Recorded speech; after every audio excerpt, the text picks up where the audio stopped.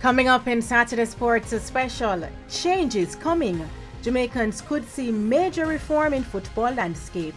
And Windies head coach confident of retaining Wisden Trophy in the UK.